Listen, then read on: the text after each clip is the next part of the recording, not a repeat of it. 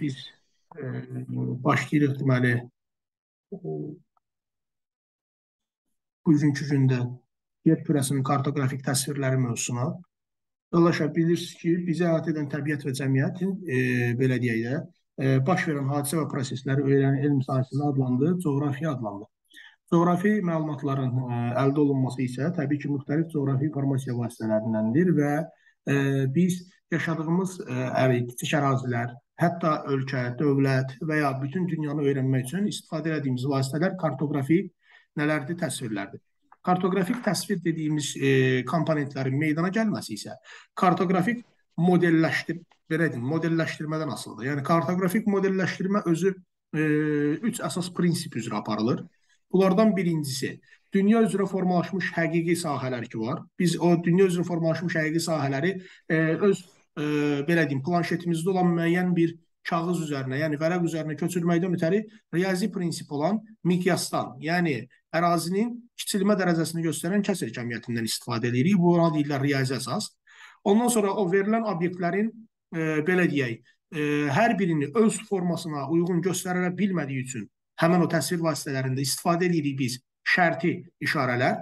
Təbii ki, həqiqətdə olduqca böyük əraziləri xəritəyə köçürərkən orada ən vacib obyektlər saxlanılır və digərləri oradan təbii ki, çıxarılır. Buna deyirlər kartoqrafik ümumiləşdirmə, ikinci adı ilə bunun adı adlanır generalizasiya. Yəni bunu biz yadda saxlayaq. Deməli, kartoqrafik modelləşdirmənin üç əsas prinsipi oldu. Birincisi riyazi əsas, ikincisi kartoqrafik işarələr, buna biz şərt işarə adı verdik. Üçüncüsü də təbii ki, biz qeyd elədik, e, generalizasiya. Yəni coğrafi obyektlərin seçilməsi və ümumiləşdirilməsi. Ardınca biz qeyd edəcəyik ki, kartoqrafik təsvirlərin üç əsas növü var yoldaşlar. Bunlardan çox kiçik ərazi, yəni məhəllin planı deyirlər. Ondan sonra ə, kiçik, orta və böyük ərazilərin təsviri üçün müstəvi üzərində təsvir olan xəritə və bütün dünyanın təsvir olunduğu təbii ki, qlobus.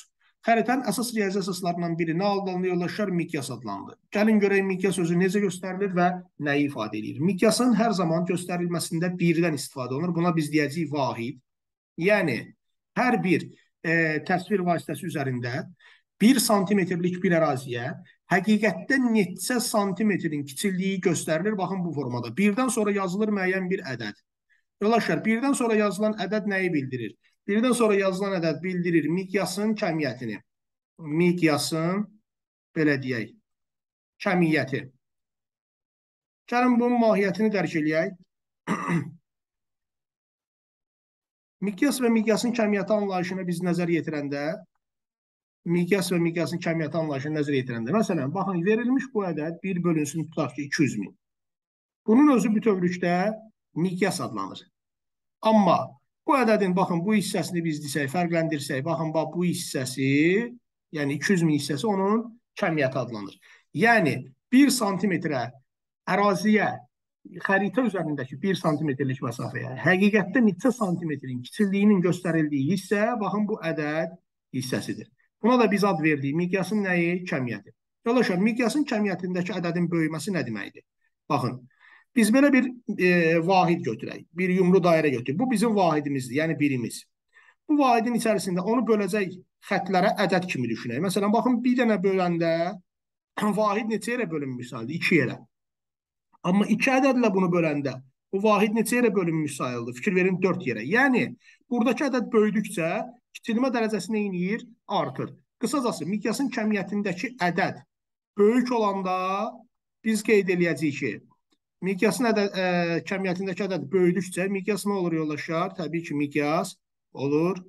Miqyas kiçilir. Amma yox, bu miqyasdakı ədəd, yəni kəmiyyətdəki ədəd əgər kiçikdirsə, o zaman bu miqyas necə sayılır? Təbii ki, böyük miqyas sayılır. Bunu da biz belə yadda saxlayaq. Yəni, qısacası e, böyüyür yazaq ki, başa düşək. Yəni, qısacası bunu belə deyək. Məsələn, iki dənə miqyas verək. Bir bölünsün, tutaq ki, 200 min 1 bölünsün 200 min və yoldaşlar, məsələn 1 bölünsün tutaq ki 400 min. Bu iki miqyası biz müqayisə eləyək, diqqətlə baxın. Bunları müqayisə eləyəndə təbii ki, bunların ikisinə görə e, 400 min miqyası sayılacaq kiçik, amma 200 min miqyası sayılacaq nə? Böyük. Yaxşı, gözəl insanlar. Biz kiçilməni nə üçün istifadə edirdik? Həqiqi məsafələri təsvir eləmək üçün istifadə edirdik. Deməli, məntiqlə burada bizə belə bir şey ortaya çıxacaq. Miqyas birbaşa asılıdır. Nədən? Ərazinin ölçülərindən. Çünki ərazi böyüdükcə daha çox kiçiltməyə ehtiyac duyulacaq. İndi bunu da növbəti hissədə ümumiləşdirəcəm. Gərək nəyə? Miqyasın adlandırılması. Miqyas yoldaşlar birincisi adlandırılır ədədi formada.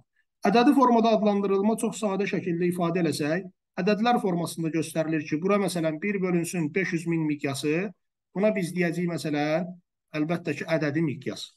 Ədədi miqyasın ikinci formada göstərilməsi adlanır izahlı şəkildə. İzahlı şəkildə göstərilmədə 2-0 və 5-0 anlayışı var, o hardan ortaya çıxır, mən onu sizə izah edim, eləmək istəyirəm. Siz bilirsiniz ki, 1 metrimiz neçə santimetrdir yoldaşlar? 1 metrimiz 100 santimetrdir. Yəni məntiqlə biz hansısa bir ədədi miqyasın sonundan 2-0 siləsi olsaq, onu nəyə çevirmiş oluruq? Metrə çevirmiş oluruq. Biz hər hansısa bir ədədi miqyasın sonundan, diqqətlə bura fikir verin, bizim 1 kilometrimiz özü neçə metrə bərabərdir? Təbii ki, 1000 metrə bərabərdir.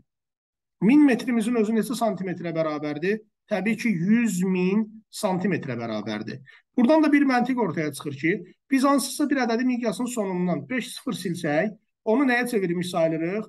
kilometrə çevirmiş sayılır. Çünki ədədi miqyasda birinci tərəfdə verilən 1 sm vahid xəritədəki 1 sm ifadə edir. İkinci tərəfdə verilmiş bu 500 min santimetr isə həmin o xəritənin 1 santimetrində olan kiçilməni, yəni həqiqi məsafənin nə qədər kiçildiyini ifadə edir. Biz yoldaşlar o miqyasın kəmiyyətindəki ədədin sonundan 2-0 və ya 5-0 silirik. Yəni, hər ikisi santimetrlədir. O zaman mən bu 1 bölünsün 500 mini izah eləsəm, olur 1 santimetrdə. Məsələn, 2-0 siləsi olsam, nə qədər? 5000 metr. Əgər yox, biz buradan məsələn 5-0 siləsi olsaq, o zaman olur məsələn 1 santimetrdə müvafiq olaraq 5 kilometr. Bunu belə yadda saxlayaq. Hə, biz indi e, müxtəlif test tapşırıqlarında müəllim bunu necə tapaq? Təbii ki, test tapşırığında hər iki variantı yoxlamaq lazımdır. Həm metrlə, həm kilometrlə. Cavablarda hansı varsa, təbii ki, onu saxlamaq lazımdır. Çünki bəzən çaşdırmaqdan ötəri böyük bir ədədi metrə çevirə bilir. Bəzən hə, olduqca məsələn kiçik bir ədədi kilometrə çevirə bilir. Yəni niyə görə mən bunu vurğulayıram? Məsələn, məsələn belə bir şey ola bilər ki, testlərdə 1 bölünsün tutaq ki, 60 milyon bir ədəd verər. 60 milyon. 60 milyon bir ədədi sizin gözləmədiyiniz halda metrə çevirər. Yəni yazar 1 1 santimetrdə tutaq ki, 1 santimetrdə e, baxın 2 sıfırı biz sildiyimiz üçün nə qalır? 2 sıfır gedəndə qalır 600 min metr. 600 min nə? Məsələn metr. Və ya və ya 1 bölünsün tutaq ki, 40 min ədədini fikir verin. 40 min ədədini sizin gözləmədiyiniz halda bunlar kilometrə çevirə bilərlər. Yəni necə? Normalda burada sonunda 5 sıfır görmədiyiniz üçün sizi, sizi çaşdıra bilər ki, görəsən bunu necə çevirəcək? 5-0 olmasa sıfırların 4-ü gedir. Sıfırın biri 4-dən keçdiyi üçün qalır 1 santimetrdə, fikir verin, 1 santimetrdə 0,4 gördüyünüz kimi nə? Kilometr. 0,4 kilometr. Məsələ budur. İndi davamında biz nə qeyd edəcəyik? İzahlı miqyasdan sonra e, gəlir əlbəttə ki, sonuncu miqyasımızın adı, yəni adlandırılmadır. Buna deyirlər biz xətti miqyas yoldaşlar. Xətti miqyası isə əlbəttə ki, vahid parça təyin olunandan sonra, tərif belə daha düzgündür.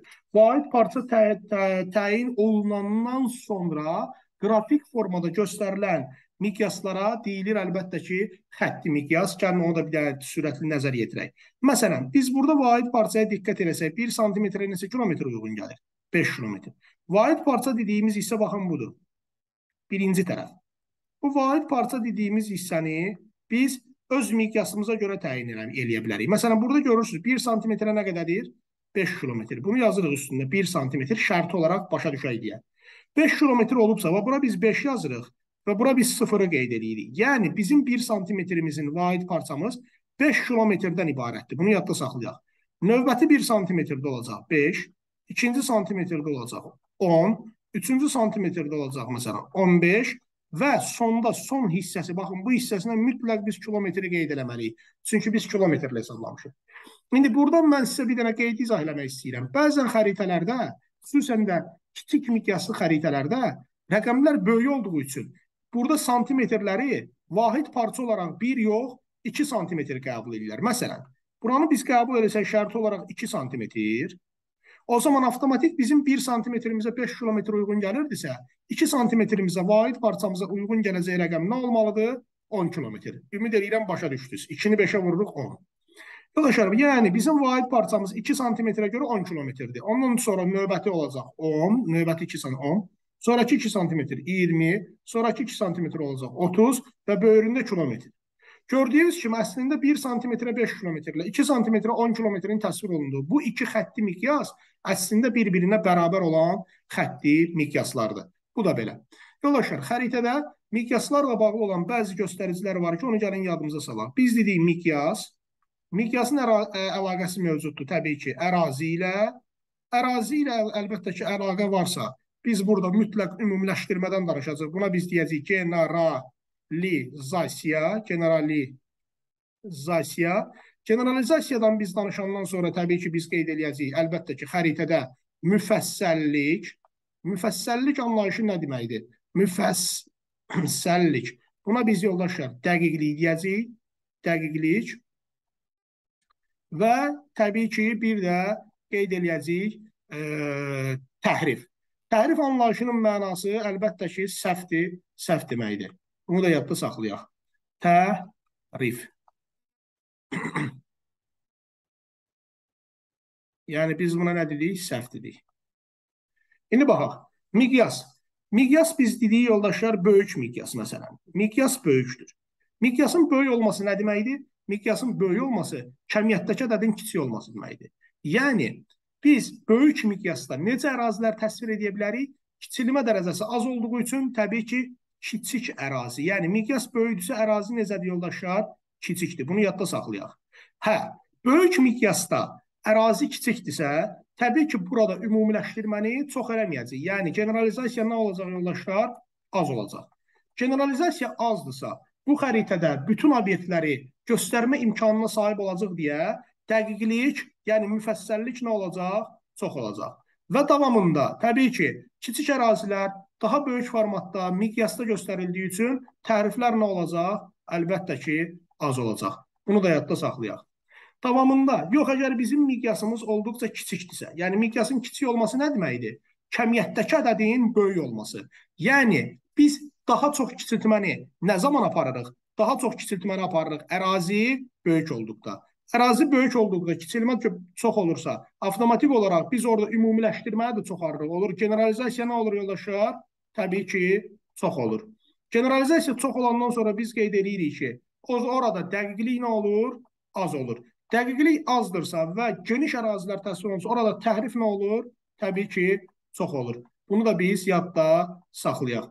Yoldaşlar, deməli, Miqyasın kəmiyyəti ilə ərazi necə mütənasibdir, ona da bir dənə baxaq. Bunu da buradan bir qrafik olaraq mən sizə göstərim. Baxın, miqyasın kəmiyyəti və bir də mən dediyim ərazi.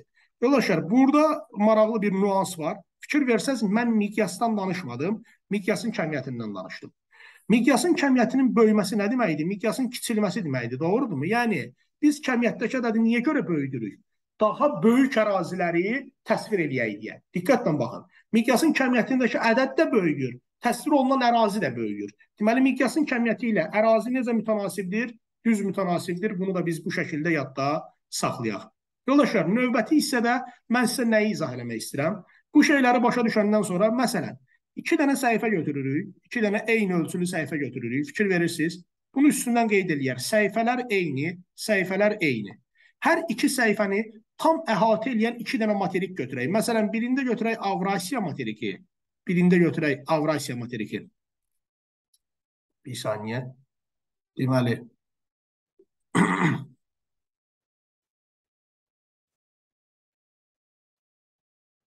birində götürək Avrasiya materiki, birində də götürək məsələn Avstraliya materiki. Gəlin buna nəzər yetirək Avstraliya materiki. İndi bunların sahələrini biz müqayisə eləsək, Avrasiya təbii ki, ərazicə nədir? Böyükdür. Amma Avstraliya ərazicə nədir? Kiçikdir. Amma hər ikisi eyni ölçülü səhifəyə, səhifə üzərindədir. O zaman buradan belə bir məntiq ortaya çıxacaq. Əgər Avrasiya materikinin ərazisi böyükdürsə, onun bu gördüyümüz eyni ölçülü səhifəyə təsvir olunması üçün miqyas nə olmalıdır? Kiçik olmalıdır. Amma Avstraliyanın ərazisi kiçikdir deyə Avrasiyanın təsvir olunduğu səhifə boyda əraziyə təsvir olunarkən onun miqyası nə olacaq yoldaşlar? Böyük olacaq. Biz bu şeyləri biləndən sonra təsvirlər haqqında daha dəqiq məlumatlar ala bilərik. Məsələn, Avrasiyanın miqyası kiçik olduğu üçün orada generalizasiya olacaq çox, Avstraliyada miqyası böyük olduğu üçün generalizasiya olacaq az. Və Avrasiyada müfəssəllik olacaq, yəni dəqiqlik olacaq az, amma Avstraliyada dəqiqlik olacaq çox.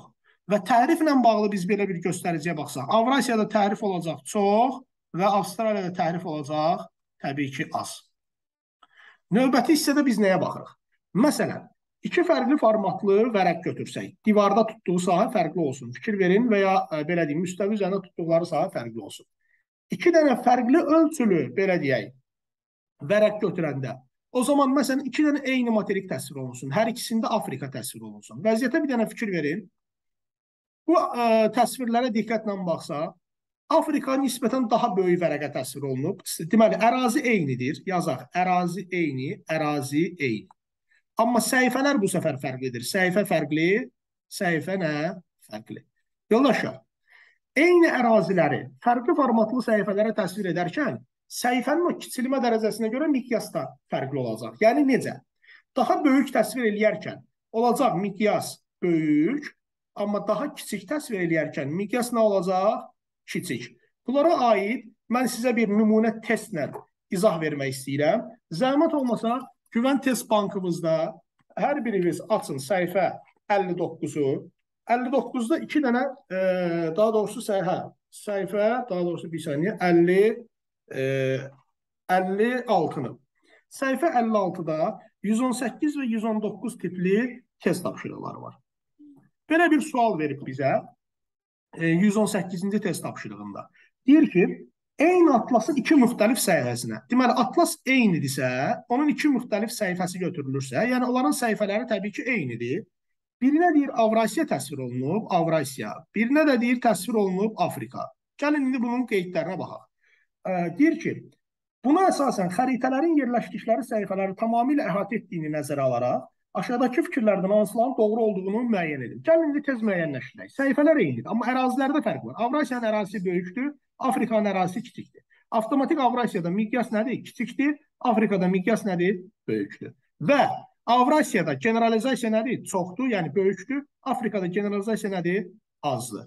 İndi görək bizim sualımızda nə deyir? Doğru olanları soruşduğu üçün. Sualın birinci bəndində deyir ki, Avrasiyanın xəritəsinin miqyası daha böyükdür. Tam tərsi. Avrasiyanın ərazisi böyük olduğu üçün miqyası kiçikdir. Ona görə bir yanlışdır.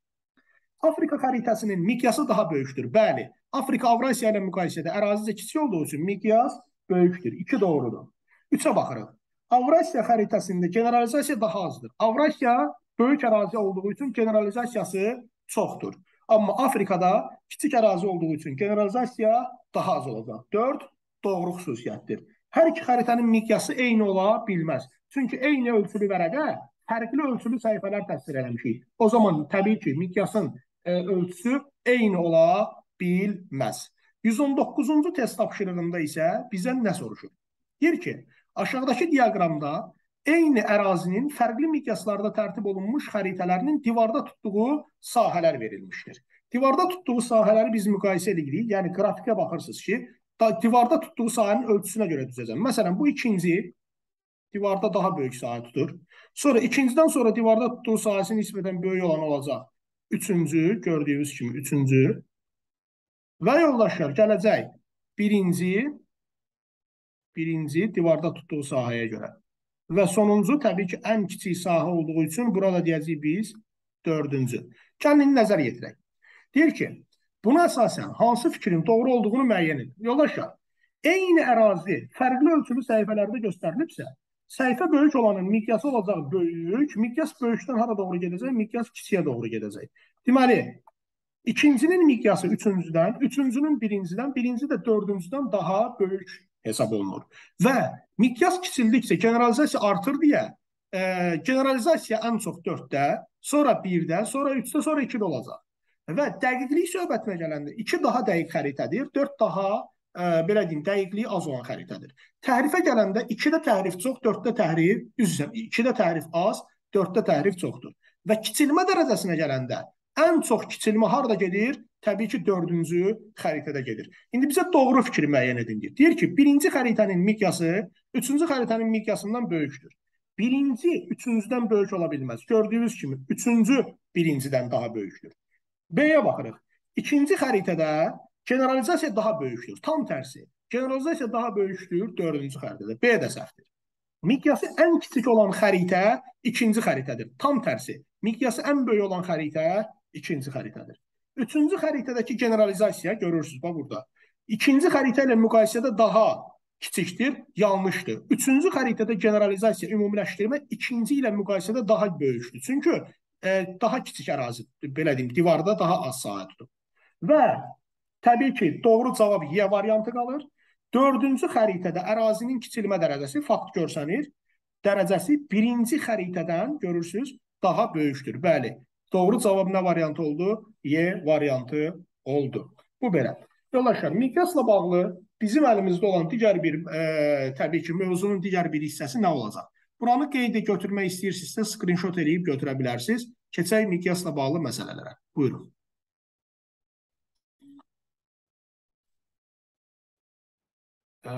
Götürdünüz qeyd? Bəli, müəllim. Aha. Davam edirik. Deməli, miqyasla bağlı məsələlər əsasən iki formadadır. Bunlardan birincisi məsafə hesablamalarıdır. E, təbii ki, növbəti isə sahə hesablamalarıdır. İlk əvvəl mən düsturları yazacağam, ondan sonra sizə nümunələrlə bəzi izahlar verəcəm ki, sahə və məsafədə problem yaşamayasınız. Yoldaşlar, məsafə hesablamaları dedikdə biz bura uzunluq hesablamaları da deyə bilərik. Gəlin nəzər yetirək. Deməli, həqiqi məsafə var. Həqiqi məsafə HM ilə qısaca işarələndi. Həqiqi məsafə bərabərdir. Xəritədəki məsafə vurulsun təbii ki, miqyasın kəmiyyəti. Miqyasın kəmiyyəti dediyimiz anlayış o birdən sonra olan rəqəm ki var idi, bax odur. Davamında biz qeyd eləyəcəyik bu düsturdan vuruq-vuruq və hasil varsa, vuruqlardan birini tapmaq üçün, məsələn, xəritədəki məsafəni tapmaqdan ötəri biz hasili, yəni həqiqi məsafəni müvafiq olaraq böləcəyik miqyasın kəmiyyətinə. Davamında biz miqyasın kəmiyyətini tapmaq istəyiriksə, bu səfər biz həqiqi məsafəni böləcəyik təbii ki, xəritədəki məsafəyə. Yoldaşlar, Burada bir qeydi mən diqqətinizə çatdırım ki, miqyasın kəmiyyəti hər zaman izahlı formada tapılır. İzahlı formada tapılan miqyası biz istəsək sonda ədədiyə də çevirə bilərik və ya onu xətti formada da göstərə bilərik. Yəni xətti miqyas şəklində də göstərə bilərik. Bu da bizim diqqətimizdə qalsın. Davamında biz sahə hesablamalarından danışarkən sahədə təkcə məntə məntəqənin uzunluğu yox, sahədə məntəqənin həm uzunluğu, təbii ki, həm də məntəqənin eni olduğu üçün, biz bunu belə qeyd eləyək, həm də məntəqənin eni olduğu üçün yadda saxlamalıyıq ki, uzunluğu və eni var deyə bu səfər miqyasdan iki dəfə istifadə olunur. Bir həmin sahənin uzunluğu üçün, bir də həmin sahənin eni üçün. İndi mən bunu ə, təbii ki, nümunələrdə daha geniş izah eləyəcəm. Diqqətlə baxın. Uzunluq və enə diqqət eləyəndə Burada belə bir anlayış var. Həqiqi sahə, diqqətlə fikir verin. Deməli, bircə saniyə, aha. Həqiqi sahə.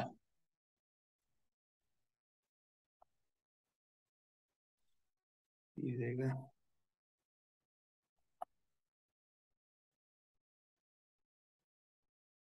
Aha. Həqiqi sahə nəyə bərabər olur? Xəritədəki sahə vurulsun bu səfər miqyasın kəmiyyətinin kvadratı. Çünki xəritədə də məntəqələrin eni və uzunluğu sahə şəklində bir-birinə vurularaq tapılır. Miqyasın kəmiyyəti də həm o məntəqənin uzunluğuna, həm də eninə vurulduğu üçün birbaşa kvadrata yüksəldilir. Miqyasın kəmiyyətinin kvadratı.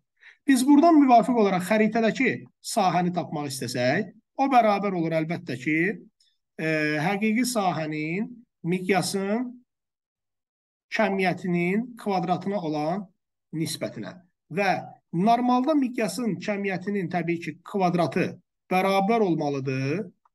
Həqiqi sahə bölünsün yoldaşlar xəritədəki nə? Sahə. Amma biz burada birbaşa miqyasın kəmiyyətini axtardığımız üçün hər tərəfi bölə bilərik kvadrata.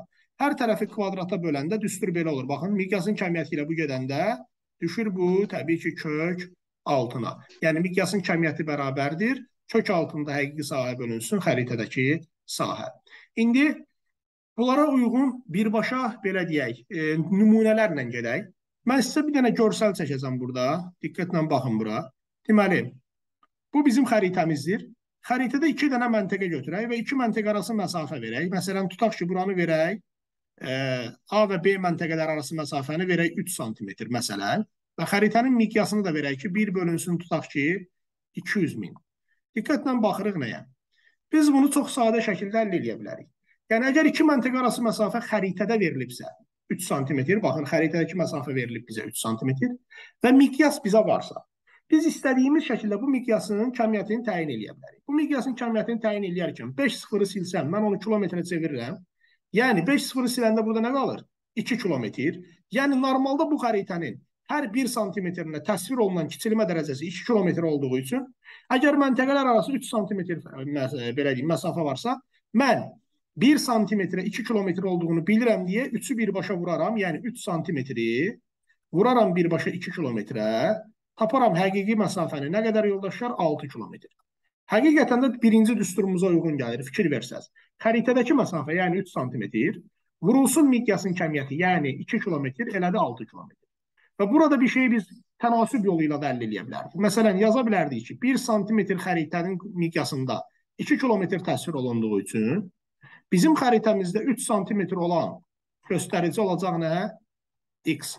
Biz bu X əldə edərkən təbii ki, 3-ü vuracaq 2-yə, böləcəyik 1-ə. 3 sur 2 böl 1. Bu da bərabər oldu təbii ki, 6 kilometrə. Yəni, ümid edirəm, burada qaranlıq qalan bir şey olmadı.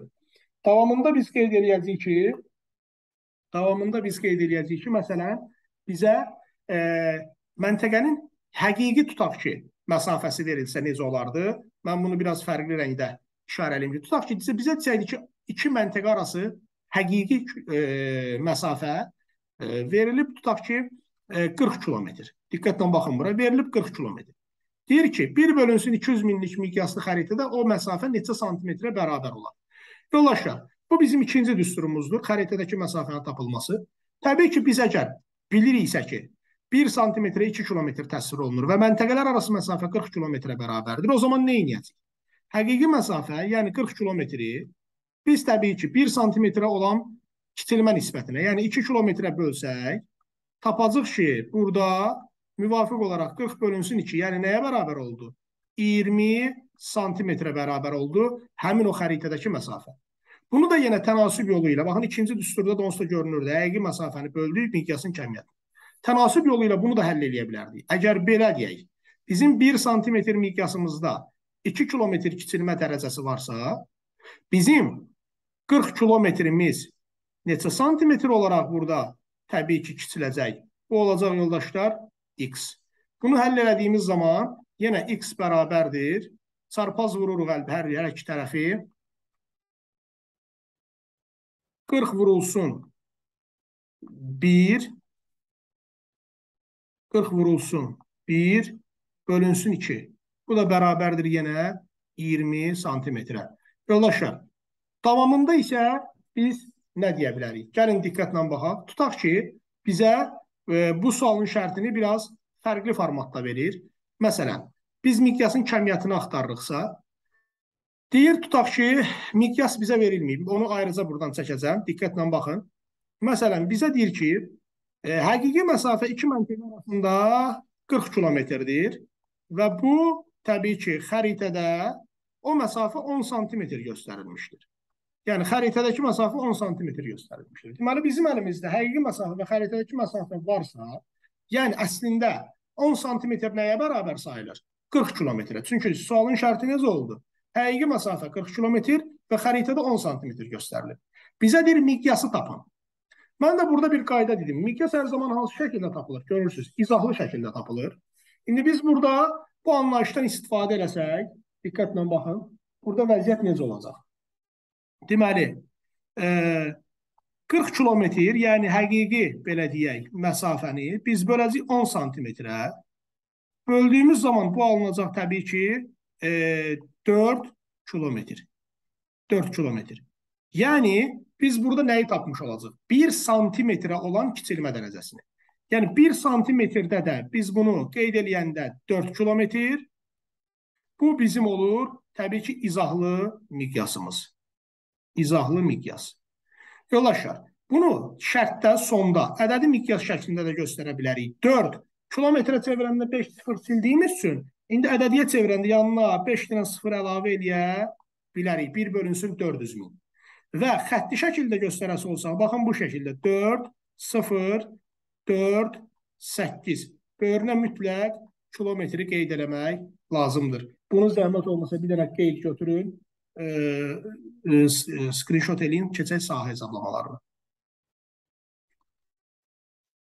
Götürdünüz yoldaşlar. Bəli. Aha. Üzr istəyirəm, mən bir dəqiqənizi alacağam, telefona cavab verməliyəm. Yaxşı, üzr hesab edin.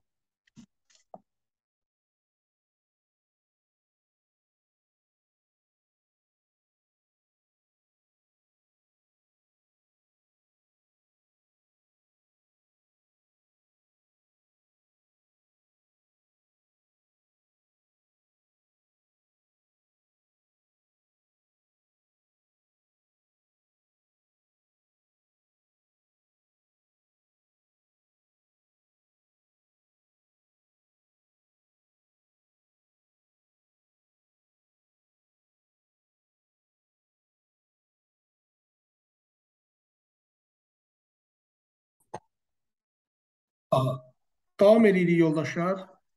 Deməli belə. Burada sahə hesablamalarına keçid edirik. Diqqətlə baxın. Sahədə vəziyyət necədir? Mən yenə burada bir qrafik olaraq sizə bunu çəkib göstərmək istəyirəm. Məsələn, fikir versəz bir qrafik xəritə çəkirəm sizin üçün. Yoldaşlar, burada məntəqənin tutaq ki, enini verib 3, 3 santimetr, uzunluğunu da verib bizə məsələn 4 santimetr. Diqqətlə baxın. Və miqyas bu xəritə üçün verib məsələn 1 bölünsün nə qədər? 200 min. Fikir verək. Normalda, normalda biz sahəni tapmaq üçün həm bunun uzun eninin həqiqətdə neçə kilometr olduğunu, həm də uzunluğunun həqiqətdə neçə kilometr olduğunu bilməliyik ki, onları bir-birinə vuraraq sahəni tapaq. Mən bunu sizə izah eləmək üçün bu şəkli çəkdim. Məsələn, 3 santimetri burada biz 5 sıfırı siləndə qalır 2 kilometr. Məsələn, 3 2-yə vuranda bu eləyir əlbəttə ki 6 kilometr. Biz burada məsələn 4-ü 2-yə vuranda, 4-ü 2-yə vuranda bu eləyir məsələn burada 8 kilometr. Və 6-nı 8-ə, yəni eninin uzunluğuna vuranda biz tapırıq müvafiq olaraq nəyə yoldaşlar? 48 kilometr kvadratı. 48 kilometr təbii ki kvadratı. İndi diqqətlə baxsaz, biz burada işimizi daha da sürətləndirə bilərdik. 3 santimetrə 4 santimetrə vuranda bu xəritədəki sahə nəyə bərabər olacaq yoldaşlar? 12 santimetr kvadrata. 12 santimetr kvadrat. Xəritədəki sahə bizdə varsa, düsturumuza baxın, xəritədəki sahə miqyasın kəmiyyətinin kvadratı. Bildiniz niyə görə kvadratı? Çünki eni də uzunluğu da onsuz da bu miqyasın kəmiyyətinə vurulur deyə iki dəfə. Elə biz birbaşa miqyasın kəmiyyəti kvadrata yüksəldə bilərik. Yəni 12 vurulsun 2-nin nəyi yoldaşlar? Kvadratı. Bu da yenə bizə verir 48 kilometr kvadratı. Yəni işimizi daha sürətli həll etməkdən ötəri bu düstur bizə tətbiq olunur. Davamında məsələn bizdən bu sualı biraz fərqli formatda soruşacaq. Tutaq ki, baxın belə verir. Deyir ki, məntəqənin eni həqiqətdə 6 kilometrdir, uzunluğu da məsələn 8 kilometrdir. Avtomatik olaraq biz e, belə deyək, tapmaq istəyirik xəritədəki sahəni. Xəritədəki sahəni tapmaq istəyiriksə nə edəcəyik? O zaman həqiqi sahəni miqyasın kəmiyyətinin kvadratına bölməliyik. Həqiqi sahəni biz 6-nı 8 e, deməli 6 vur 8. Həqiqi sahə burada nəyə bərabər olur? Təbii ki, bu bərabər olur 48 kilometr kvadrata 48 48 və əgər bizim həqiqi sahəmiz 48 kilometr kvadratdırsa, Biz onu müvafiq olaraq miqyasın kəmiyyətinin, yəni 2-nin kvadratına, 2-nin kvadratı nəyə bərabər yollaşar? 4-ə böləndə tapırıq xəritədəki sahəni. O eləyir 12 santimetr kvadrat. Və sonda da məsələn bizə e, xəritədəki sahə və həqiqi sahə verilibsə, miqyasın özünü nətər taparıq ona baxanda, məsələn tutaq ki, bizə məsələnin şərtində verdi ki, həqiqi sahə 48 kilometr kvadrat, e, xəritədəki sahə 12 sm kvadratdır. Miqyasın kəmiyyətini təyin eləyin. O zaman düstura görə biz tapanda miqyasın kəmiyyəti bizə bərabər olacaq. Kök altında, kök altında həqiqi sahə, yəni 48 belə deyək, kilometr kvadrat, kilometr kvadrat bölünsün. Əlbəttə ki, 12 12 santimetr təbii ki, kvadrat. 48-i biz 12-yə böləndə bu eləyəcək təbii ki, 4. Kök altda 4-dən çıxacaq 2 kilometr. Diqqətlə fikir versəz, bu da yenə izahlı formada tapıldı kəmiyyət olaraq. İzahlı formada tapılanı istəsək, məsələ şərtinə uyğun olaraq kilometrlə verə bilərik. Məsələn, iki yanına müvafiq olaraq e, gördüyünüz kimi 5 dənə 0, yəni 200 min və ya xətti formada verə bilərik. 2, 0, 2, 4 və 6 böyründə mütləq kilometr qeyd olunmaqla. Bu da belə. Bunlar sahə ilə bağlı olan hesablamalar oldu. İndi biz e, mövzunun növbəti hissəsində bəzi çətin test nümunələrinə diqqət eləyək. Zəhmət olmasa e, belə deyək, təkrar qoşulaq yoldaşlar. Buranı da bir dənə qeyd kimi istəsəz götürün, qalsın sizdə.